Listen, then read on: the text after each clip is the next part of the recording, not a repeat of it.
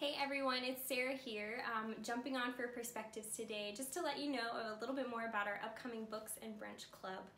Um, I recently moved to a new home and um, have really been enjoying it, but uh, just praying about ways that God would like me to use this space, especially in our culture and our time today, uh, just to fellowship with one another, to reconnect, uh, to listen, to ask good questions, um, and hopefully in all of that to increase our faith.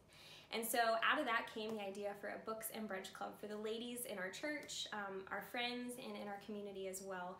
So our very first meeting will be July 18th from 9.30 to 11 a.m. here in my home. And if you join the group, I'll provide you the address. It's in Warrenton though. Um, we're gonna be meeting together to eat some yummy brunch food. You can bring a dish or I'll have food here. And um, our very first book will be The Hiding Place by Corrie ten Boom. It's a great testimony um, to God's faithfulness in the midst of really difficult circumstances. Corrie lived during World War II and helped to start the Underground Railroad for uh, Jewish people who were in hiding.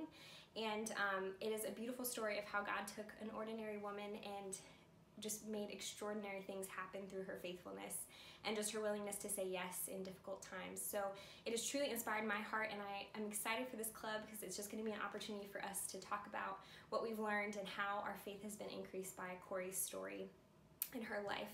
Um, so again, the first meeting will be July 18th from, it's a Saturday, um, from 9.30 to 11 a.m. And I hope to do this monthly, so if you can't make this one, I hope you'll make uh, the next one, and I hope we'll continue to read amazing books.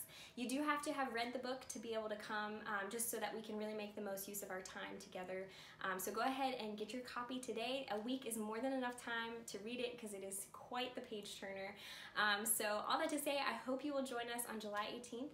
And um, if you're interested, go ahead and go to our Church Center app or our website and you can uh, find out more details about how to join the group and I'll let you know. Um, thanks so much and I look forward to seeing you on the 18th. Have a good day.